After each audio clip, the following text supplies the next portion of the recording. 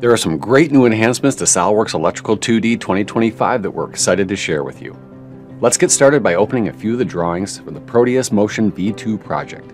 As I'm opening them, you can see that they're zoomed in on the different areas of the drawing depending on the last time I closed them.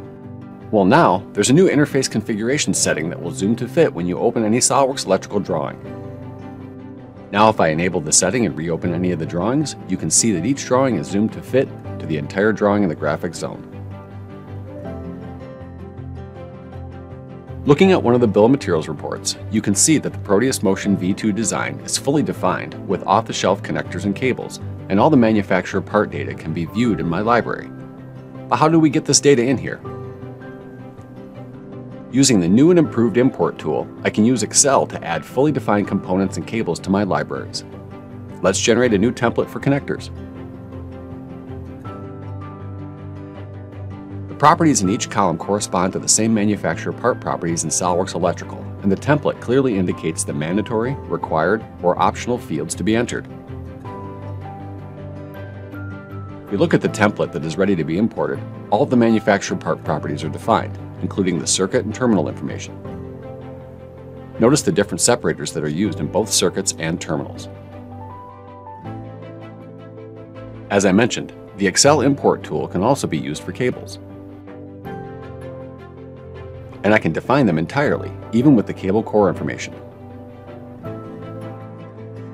With this new import tool, you can quickly add your exact part numbers with all possible properties into your manufacturer part library. The import tool will help verify the content of the Excel file, as well as validate the data, where it will compare and flag any duplicate parts found in your library. If we check out the properties for our component AC1, we can see all the details added to the manufacturer part. Let's focus on cables now and look at some of the significant enhancements made to cable reference management and configuration.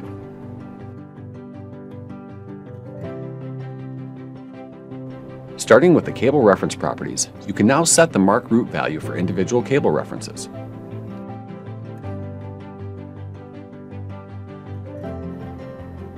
Next, in the Electrical Project tab, we can use the search command to view all of the cables in our active project. Additionally, if I select a cable, I can go directly to it, whether it's in a schematic diagram, line diagram, or I can even go to the origin component that the cable is connected to by choosing Go to Browser. Moving on to cable management, I can now select a cable and delete it regardless of if it's in a single line diagram or schematic diagram. I have the option to preview it before, and then I could go ahead and disassociate and delete the entire cable reference from my design. A design like this with a lot of cables can become complex. Luckily, with these new search, delete, and cable mark properties, you can easily modify and keep track of all cables in your next project. For more advanced cable naming convention, we can leverage two new variables in the cable mark formula. Going into the project configuration, Mark tab, we'll modify the cable mark formula. We now have component origin and component destination. I'll add a dash in between them as well. For existing cables, we use the renumber marks command to recalculate and update the cable marks.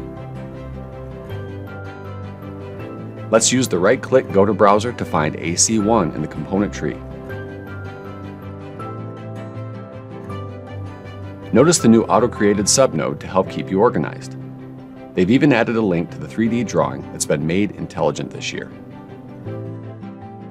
Managing complex terminal arrangements in your electrical schematics can be challenging, Luckily now in 2025, the Distribute Terminal feature is here to help.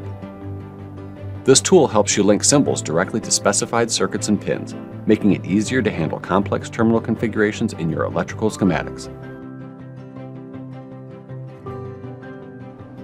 With an updated manufacturer part and circuits tab, once I add a part, you can see there's a new terminal group below the circuits. Now I can clearly see all terminals and their state for a single circuit. Going into schematics, now I can insert a terminal symbol. Find the terminal component that I want to associate it to, and select any individual terminal from the circuit to complete the placement. Now if you look at the properties for X4, you can notice that one of the states changed for the terminal I associated the symbols to. This intuitive interface allows for dynamic circuit and pin selection, ensuring accurate symbol to terminal mapping in your electrical schematics. In the terminal strip drawing, Electrical 2025 introduces more complete wire destination details. In this example, we want to show destination components for the wires and cables. Show and organize destination components with wires. Lastly, new to 2025, you can add custom data to your wire termination types. Things like what the wire termination is made out of can be applied here. Like if it's conductive or non-conductive. If it's conductive, what metal is being used. The list goes on of what can be added here now. and Any detail about your wires and what's going around them can be captured.